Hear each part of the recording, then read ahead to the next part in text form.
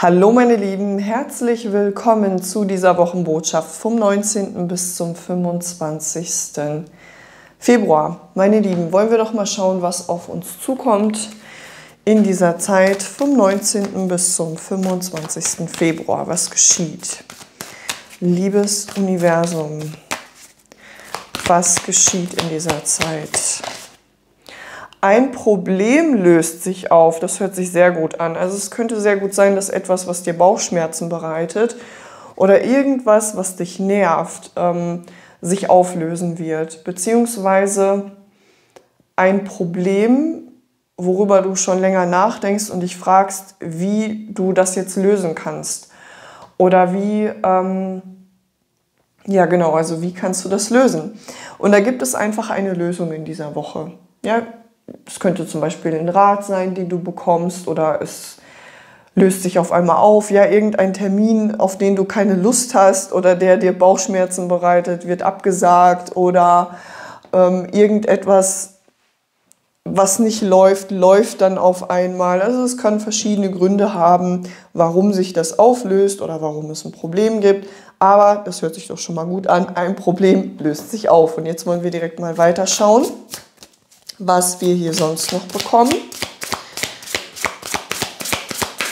Eine Sorge weniger kriege ich gerade rein. Das hört sich doch gut an. Jungfrau Energie. Es könnte hier um Heilung gehen. Es könnte darum gehen, dass du mit deiner Ernährung beschäftigt bist oder mit den Themen Gesundheit beschäftigt bist. Vielleicht geht es darum, dass du in dieser Woche dich stärker damit auseinandersetzt, was du isst, ähm, welche Gewohnheiten du hast, welche Rituale du hast das, was du täglich tust. Es könnte auch hier um deine Arbeitsweise gehen, ja, wie du arbeitest oder die Zeiten, an denen du arbeitest. Vielleicht geht es hier darum, etwas umzustrukturieren, etwas zu verändern, neu zu planen, umzuplanen. Es kann hier auch um den Alltag gehen, also die Dinge, die du im Alltag erledigen musst. Ich habe das Gefühl, dass sich hier was auflöst, also dass vielleicht sogar hier eine Hilfe reinkommt. Vielleicht ähm, macht es etwas leichter im Alltag oder bei deiner Arbeit. Zum Beispiel gibt es ein neues Programm und das erleichtert dir sehr, sehr viel bei deiner Arbeit. Oder es gibt eine neue Person und die hilft dir und unterstützt dich bei deiner Arbeit. Also auch da gibt es verschiedene Möglichkeiten, aber ich nehme auch stark den Aspekt der Gesundheit und Ernährung wahr. Also könnte das auch etwas sein, womit du stark beschäftigt sein wirst in dieser Woche dass du mal schaust, was isst du, wie sind deine täglichen Gewohnheiten, ähm, wie sieht es mit Sport aus, etc. Ähm, das sind solche Sachen, die mir hier kommen. Wir schauen weiter. Vom 19. bis zum 25. Februar. Du wirst etwas sehen, du wirst etwas erkennen. Ich glaube, du prüfst auch etwas ganz genau. Die Jungfrau-Energie ist ein sehr analytischer ähm, Verstand oder eine sehr analytische Energie. Ja, die schaut sich die Dinge ganz genau an. Und hier in dieser Karte sehe ich das auch immer, ne? dieses ähm, etwas observieren, prüfen, sich genau anschauen. Es könnte aber auch sein, dass du einen Perspektivwechsel bekommst. Also wie du die Dinge siehst, du siehst sie auf einmal aus einer anderen ähm, Richtung oder aus einem anderen Blickwinkel. Aber ich habe wirklich das Gefühl, dass du in dieser Woche etwas wird leichter. Ja, also dass du für irgendein Problem eine Lösung findest, die praktisch ist. Oder du bekommst Unterstützung oder du siehst auf einmal was anders. Es könnte auch sehr gut sein, dass dir jemand einen anderen Blickwinkel in Bezug auf dein Problem gibt. Manchmal ist es ja so, wenn wir ein Problem haben, dann sind wir so nah da dran und wir kreisen darum und wir finden keine Lösung. Und ähm, wir zerbrechen uns den Kopf. Wir sind wie gefangen. Und sobald wir das jemand anderem erzählen, vielleicht auch jemand, ähm, wo wir über sowas vorher nicht gesprochen haben, eine Person, die vielleicht auch ganz anders eingestellt ist. Und dann auf einmal ist es ganz leicht, dann sagt dir die Person, hey, sieh das doch mal so und so, du kannst doch das und das machen. Du denkst, wow, darauf bin ich ja gar nicht gekommen. Also es könnte sehr gut sein, dass du jemanden haben wirst, der dir irgendwie einen anderen Blickwinkel auf etwas gibt und dadurch ähm, löst sich ein Problem schon auf, weil du es einfach anders betrachtest und anders siehst und erkennst, oh, warum bin ich nicht früher schon darauf gekommen, dann hätte ich das ja schon längst ähm, erledigen können. Manchmal sind wir ein bisschen blöd. Ja, wir haben dann so ein Brett vorm Kopf und sehen das nicht, weil wir in unseren gewohnten Mustern drin sind, in unserem alltäglichen, so wie wir es immer machen. Und dann bringt eine andere Person, die anders ist als wir, da mal frischen Wind rein und kann uns auch eine andere Perspektive bieten und ähm, uns bereichern. Ja? So, schauen wir jetzt mal weiter, was wir hier noch haben. In dieser Woche vom 19. bis zum 25. Februar.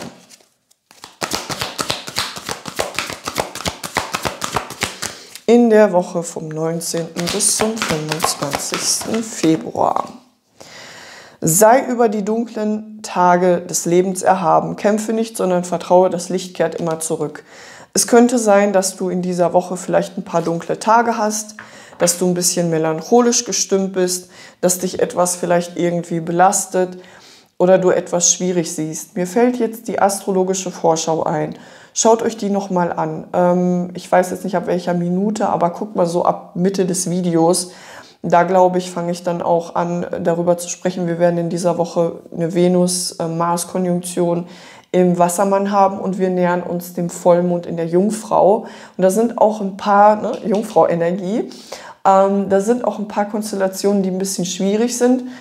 Also schaut euch das nochmal an, um euch da so ein Energie-Update zu holen. Ja? Das Video werde ich am Ende des Videos verlinken. Ansonsten schau einfach bei Astrologie-Vorschau hier auf meinem Kanal bei den Playlists. Also, es könnte hier so eine Phase geben, wo es ein bisschen schwieriger ist, aber ich glaube, dass du eine Lösung findest oder dass du da drüber stehst.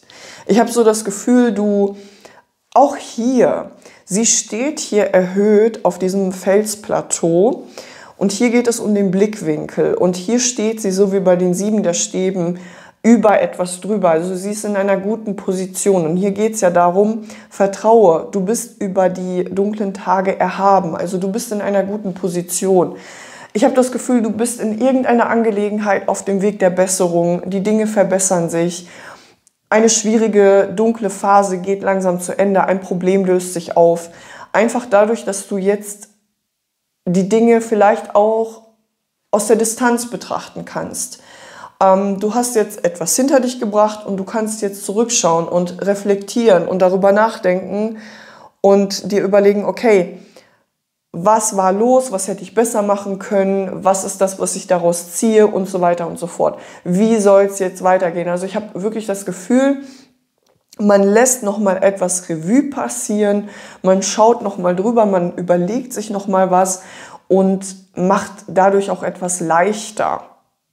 Ja, also es könnte sein, dass du vielleicht ein bisschen auch kritisch bist in dieser Woche, aber vielleicht ist ein kritischer Blick auch gut, je nachdem, wie die Einstellung auch ist. Ne? Wenn du jetzt überkritisch bist, dann ist es was anderes. Aber hier habe ich das Gefühl, man guckt jetzt noch mal genau, man überlegt sich noch mal genau und kann jetzt besser damit umgehen.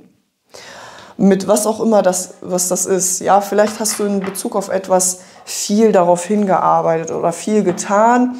Die Arbeit ist erledigt oder die Herausforderung ist man angegangen.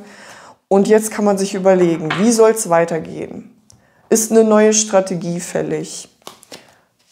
Ja, wie, wie, wie sieht es aus? So, wir werden jetzt mal das Tarot hinzuziehen. Ich hätte gerne eine Hauptkarte, eine Hauptenergie für diese Woche vom 19. bis zum 25. Februar. Eine Hauptenergie hätte ich gerne.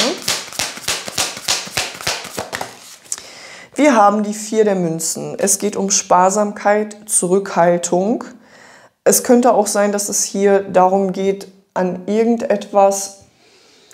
Okay, also mm, übe dich in Zurückhaltung in Bezug auf etwas. Also Zurückhaltung ist ein großes Stichwort, was mir hier kommt.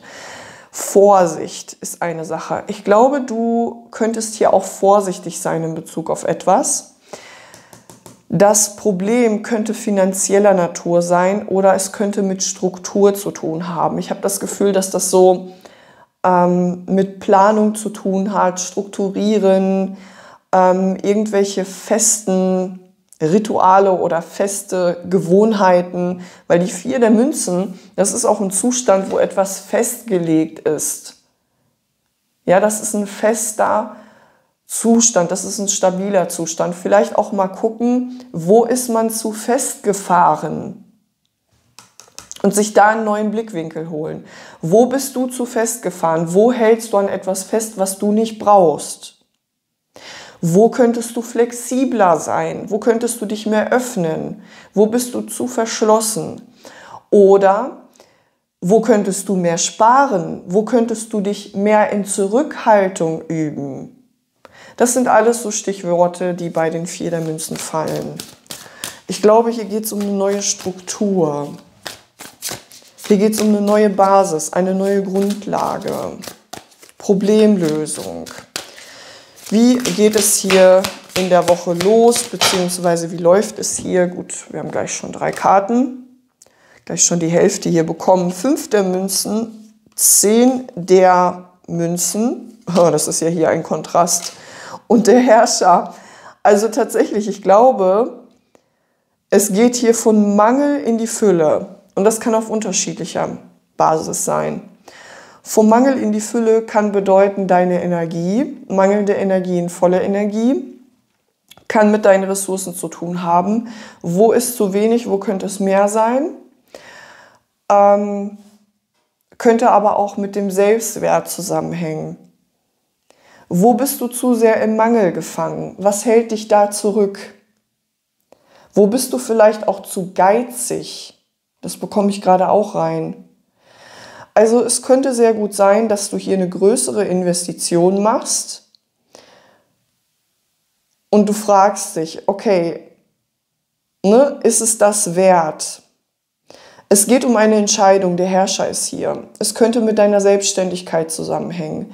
Also unabhängige selbstständige Entscheidungen, ein selbstständiger Beruf oder vielleicht ist der Herrscher auch ein Chef und es geht hier um finanzielle Angelegenheiten, die man klärt mit einem Chef oder einer Chefin. Vielleicht geht es auch hier um berufliche Angelegenheiten, wie du dein Geld strukturierst oder wie du mit dem Geld umgehst. Zum Beispiel das, was du verdienst, da zu planen, okay, für was kann ich das ausgeben? Wo sind deine Ausgaben? Wo gibst du vielleicht Geld aus, was du dir sparen könntest? Ich weiß, das sind sehr, sehr viele Fragen, aber betrachte das als Anregung. Das sind Impulse, die ich dir gebe, die du dir selber stellen kannst. Und da sind vielleicht auch sehr wichtige Fragen dabei, mit denen du dich auseinandersetzen solltest oder könntest. Ja, du musst nichts tun, aber ich habe das Gefühl, ein bisschen Sparsamkeit könnte hier gar nicht mal so verkehrt sein für die eine oder andere Person hier ein bisschen mehr Struktur in den Finanzen, ein bisschen bessere Planung. Was hat wirklich Priorität? Ja, also du schaust dir deine Werte an, deinen Besitz an, deine Finanzen an und da wird was geändert, da strukturierst du.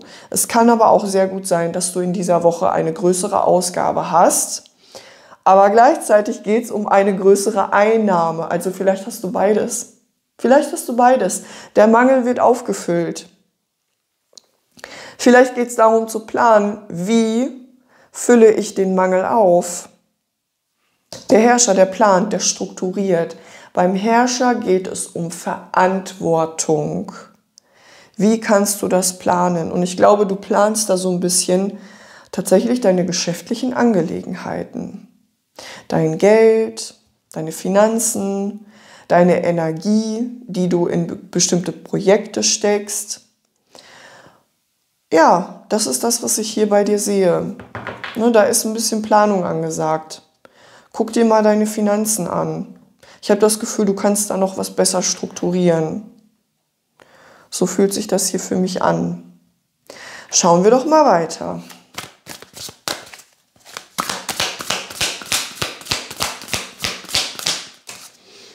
Das Universum. Das Universum ist die Welt.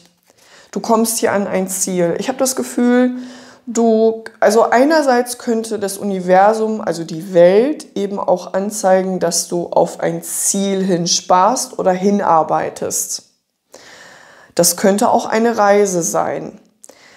Es könnte aber auch irgendein Ziel sein, ja, was du persönlich hast. Wie steht es hier um deine langfristigen beruflichen und finanziellen Ziele? So fühlt sich das hier für mich an.